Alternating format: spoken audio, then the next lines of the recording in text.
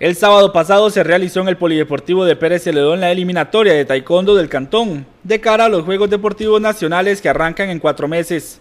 Para los entrenadores de las diferentes academias, la intención es llevar cerca de 45 taekwondistas a los Juegos, y la eliminatoria sirve justamente para llevar a los mejores y asegurar medallas. Sí, como academias aquí que estamos hoy en este selectivo de el Cantón de Pérez las cinco academias que estamos ahorita, es fomentar más que todo el taekwondo y darle más este, un auge más a, esta disciplina. La idea es este, llevar la mayoría de atletas a la eliminatoria para Juegos Nacionales, para el Comité Cantonal, para, que, para tener una buena, estar entre los, entre los tres primeros y si no, en primer lugar, entre los tres primeros a nivel nacional en Juegos Nacionales. Estamos muy contentos con esta organización que nos hizo el Comité Cantonal es importante empezar Juegos Nacionales con una visoría o un selectivo de, esta índole, trayendo referees este, de San José, referees federados, eh, con pista, con tiempos, con eh, equipo electrónico, peto eh, electrónico.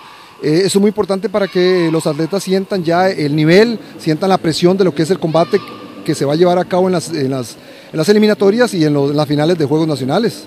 En esta ocasión se innovó con la utilización de cascos y petos electrónicos algo que ayuda a la ambientación de los jóvenes de cara a las justas nacionales. Tenemos muchos, muchos atletas jóvenes que es la primera vez que utilizan este equipo y eso nos sirve para, que, para llegar más preparados a, las eliminatorias y, así poder clasificar la mayoría de atletas. Pero ahí estamos entrenando y viéndolo. Esto sirve porque es un taller donde vamos a corregir muchos errores y, subir bastante nivel a los, a los nuevos que están entrenando, a los nuevos valores y que a la vez los más avanzados inyecten de su experiencia a esos nuevos valores. En este año se espera consagrar una buena delegación que finalmente le dé el oro a Pérez Celedón, pues años atrás se ha quedado en podio, más nunca con una medalla de oro.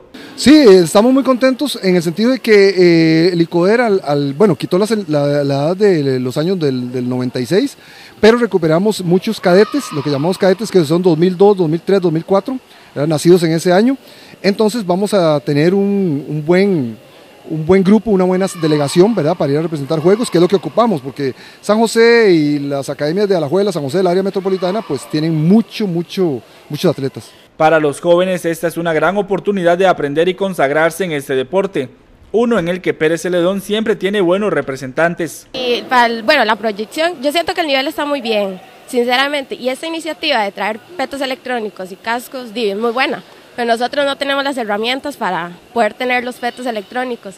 Y ya con esto es una experiencia, ya uno va fogueadillo para Juegos Nacionales. Y Juegos Nacionales esperamos traer primero los lugares.